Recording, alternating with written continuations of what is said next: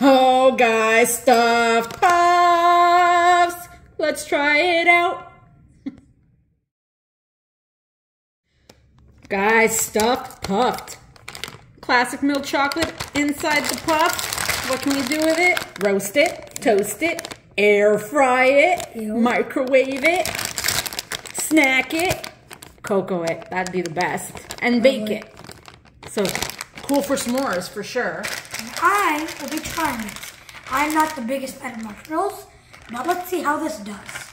Alright, open it. Let's do it.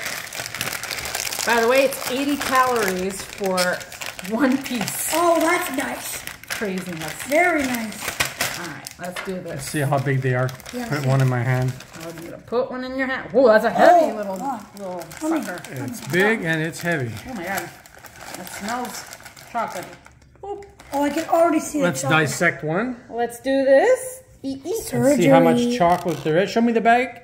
See how much chocolate there is. A in the bag. Okay, so look how much chocolate there is, and let's see how much. oh my god! It's all here. It's all here. Yeah. Let's let's let's. Oh Yeah. yeah, it's Can all I- here. Can I, Okay, all okay, here. okay, There. can I have go. another one? Because look Okay. at this one. okay. All right. Taste test it, guys. All right. We're gonna go half half though. Wait a minute, I'm pretty sure there's like a chunk of chocolate in here. Yeah, here too. Oh, Wait. right for it. All right. Do it.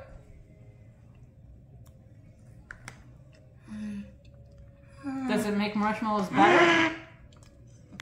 I'm gonna try it. Oh my gosh, so weird. Yeah. It's supposed to be like a s'mores. Yeah.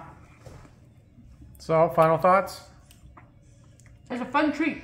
Yeah. I like this better than just a small actual. Probably be very Marshmallow? good on, dunk, on dunking, so.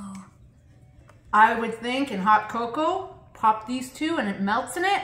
That's gonna Yeah. be delicious. So, But, um, not my favorite thing I would eat every day, though. so here it is, stuffed puff. But it's good. Thanks for watching.